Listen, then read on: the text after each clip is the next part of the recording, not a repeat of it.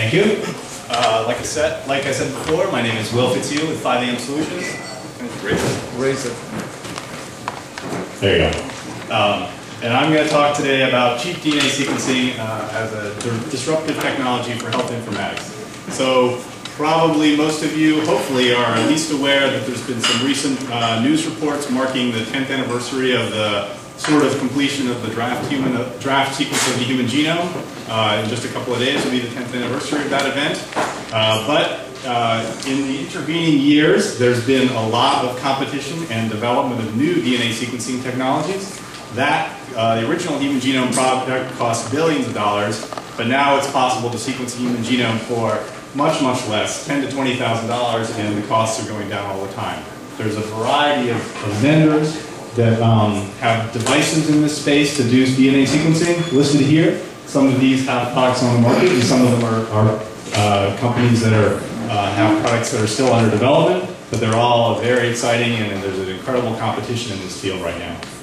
So um, it's good to go through, you know, what this data means and how it's being used. So I'll briefly talk about talk about that. So what there's there's sequence providers that use these devices to generate DNA sequence, and some of these providers, like the Broad Institute and uh, the Beijing Genomics Institute, are uh, research centers that do their own research based on this data.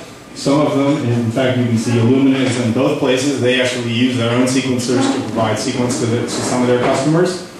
And then companies like Complete Genomics and EdgeBio. EdgeBio is a local company here that does, they both do next generation sequencing uh, as a service and provide the sequence to you. You send them the samples and they do the sequencing. So there's a variety of customers for this kind of data. Uh, there's researchers that, that use it. Uh, there's lots of those. There's information providers, companies that will sequence your DNA and then provide the sequence back to you. Knome, for instance, uh, is one that will charge you about $50,000 right now and give you access to your DNA sequence and some information about that sequence. Uh, 23andMe and Navigenics are also direct-to-consumer genetics companies. They don't yet use whole genome technologies, uh, but they will very soon, I'm sure. And then, of course, there's uh, people like you and me that will soon be getting access to this kind of data. So now the connections here are that all of these, all of these sequence providers provide uh, resources to academics and academic researchers. Um, some of them provide the sequencing capabilities for these direct-to-consumer, um, direct-to-consumer companies, and then some of them will also directly give you access to your data. So Illumina, with a, with a prescription from your doctor, and for $20,000 will sequence your genome and give you the data back. Now, the question is, how disruptive will this be for health informatics? And my prediction is that there's going to be, based on the cheapness of this data, a lot more of this data out there for people to directly use, both medical practitioners and patients. And you can see from my expression that I'm slightly confused. I got my results from 23andMe about a month ago, and it's interesting, but uh, there's still quite a lot of um, interesting unanswered questions that come out of that data.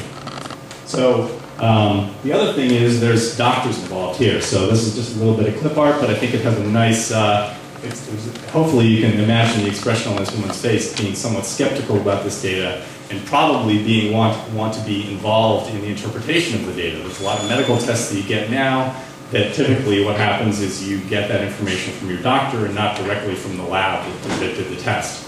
So in this, there's a lot of concern in the medical community and also in the FDA. Uh, you may have noticed that there's some recent events, uh, the FDA attempting to regulate direct-to-consumer genetics companies and wanting to have some say in, the in, in scrutinizing the accuracy of those tests and how useful they are for consumers. And then, of course, this the point of this meeting is to talk about healthcare informatics and health informatics. And this kind of data, I'm sure, will be making its way into patient health records and electronic health records. And it's probably a kind of data that's not necessarily uh, been in those kinds of tools before. And I think will cause some disruption as it becomes more widely available to patients and individuals and also to doctors and clinicians. How am I doing on time? All right. Well, that was it anyway. So there you go. I'll be happy to talk to people afterwards with questions and uh, be happy to discuss any of this. There you go. Thank you.